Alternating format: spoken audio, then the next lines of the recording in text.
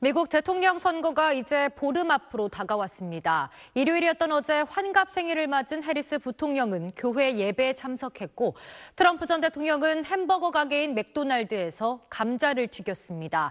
여기에도 양측의 전략이 담겨 있습니다. 워싱턴에서 김용태 특파원입니다. 미국 시간 일요일을 맞아 해리스 부통령이 경합주 조지아에 있는 대형 흑인 교회를 찾았습니다. 마침 60세 생일이어서 예배 참석자들이 축하 노래를 불러줬습니다. 해리스는 분열을 심화하고 혐오를 확산하는 세력이 있다며 트럼프 측을 겨냥한 뒤 투표를 독려했습니다. What kind of country do we want to live in? A country of chaos, fear, and hate, or a country of freedom, compassion, and justice? 해리스 측은 최근 흑인 표심을 다지기 위한 행보를 이어왔습니다.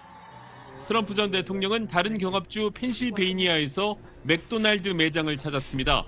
앞치마를 하고 감자를 튀기며 주문을 받기도 했습니다.